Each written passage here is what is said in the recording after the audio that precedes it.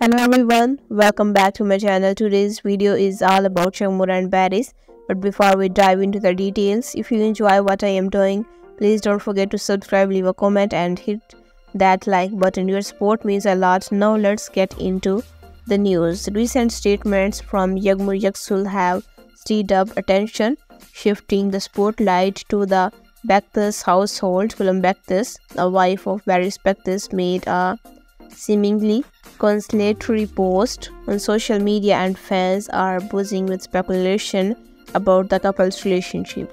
In the midst of rumors surrounding Barış Baktaş and Gülüm Baktaş' marriage, Gülüm Instagram post featuring a serene photo of Barış has sparked discussions about a potential reconciliation. The post captioned peaceful moments with the one who holds my heart has added to the mystery and uh, fueled rumors of resolution. Fans flooded the comment section with words of encouragement expressing hope for the couple's happiness and unite. The intriguing post has become a hot topic across social media platforms with users speculating about the significance of Gülüm Baktaş gesture. Thank you so much for watching this video. I'll see you in the next one. Take care and goodbye.